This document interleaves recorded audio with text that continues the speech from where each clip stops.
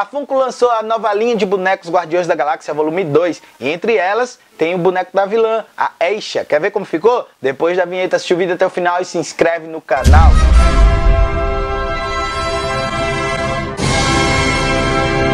E aí, pessoas e não pessoas, coisas e não coisas, geeks e não geeks, nerds e não nerds, muito fofo são os bonecos Funko, que tem versão de tudo, cara. Fez sucesso virar Funko. Até tô esperando a minha versão aqui, né? Mas ainda não chegou. Agora quem chegou foi a versão dos Guardiões da Galáxia Volume 2. O filme só chega lá no dia 4 de maio, mas você já pode ter em casa os novos personagens, incluindo a vilã Eisha. Eisha, eu acho que é assim que se fala o nome dela. Olha ela aqui.